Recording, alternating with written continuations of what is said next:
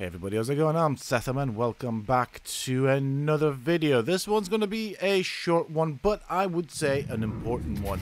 Now, obviously since Ark Genesis has come out, there is a boss at the end, and obviously some YouTubers have had access to a specific code that allows the missions to be completed through the use of that code, but they haven't shared it. Now, I'm not here to judge that, and uh, I'm sure they had their reasons for doing that, although I don't quite get them, but it's not for me to get. However, this video is about sharing that code. Now, I have managed to finally get my hands on the code, and unlike other YouTubers and YouTube content creators, I will share it out. My channel is based around helping the community with regards to games such as Ark and Conan Exiles, and of course gameplay, but I do like to help the community. So, the code is debug allow VR mission teleport. So for this you will need to have access to the admin panel.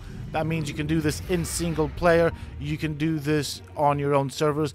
But if you do this on the servers you might most likely want to type in admin cheat before this then space debug allow mission teleport.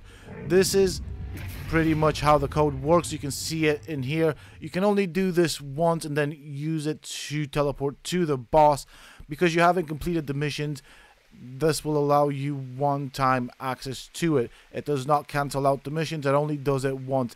Do bear in mind it can be buggy at times, and as far as I know and understand it, it does also work with consoles, but it tends to be a bit buggier on consoles. So play around with it, give it a go, try out the boss, watch the end cinematic, enjoy the code. This is for everyone that wants to play around with the final boss. Just as a word of warning, the final boss is an absolute nightmare to complete.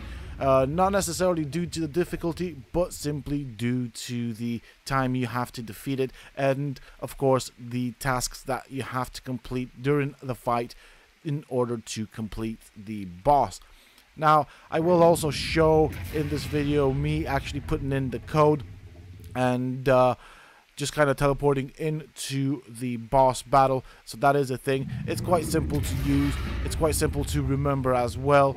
And uh, with that being said and done, I would like to thank Reddit because that is where I got the code from. Uh, but I do realize that not many people may be able to find it amongst all the other things and post on Reddit. So that is why I made a video for this. And on that note, seeing as I did get this from Reddit, might as well thank KZ247X as that is the person that posted this on Reddit. And I have played around with it. It does actually work.